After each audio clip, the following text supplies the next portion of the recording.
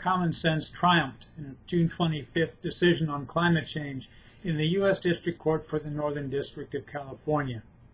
Judge William Alsup forced context into hysterically myopic climate politics when he granted a motion by five major oil companies to dismiss a lawsuit calling their production of oil and natural gas a public nuisance.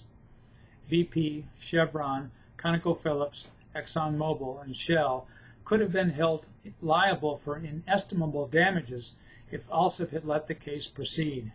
Plaintiffs, the government of California and several cities in the state, might appeal.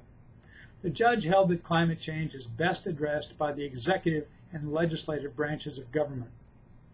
The problem deserves a solution on a more vast scale than can be supplied by a district judge or jury in a public nuisance case, he wrote.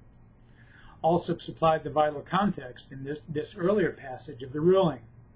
With respect to balancing the social utility against the gravity of the anticipated harm, it is true that carbon dioxide released from fossil fuels has caused and will continue to cause global warming. But against that negative, we must weigh this positive.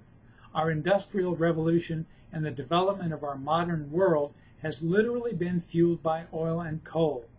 Without those fuels, virtually all of our monumental progress would have been impossible.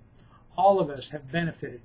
Having reaped the benefit of that historic progress, would it really be fair to now ignore our own responsibility in the use of fossil fuels and place the blame for global warming on those who supplied what we demanded?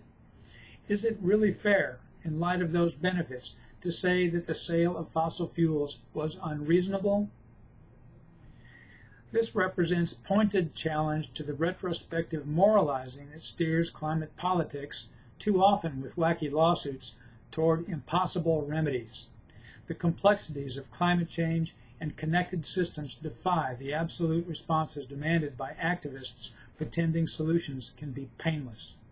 Alsup's ruling implies they ignore too much. I'm Bob Tippee, editor of Oil and Gas Journal, and that's the editor's perspective, which appeared first in text at www.ogj.com on June 29, 2018.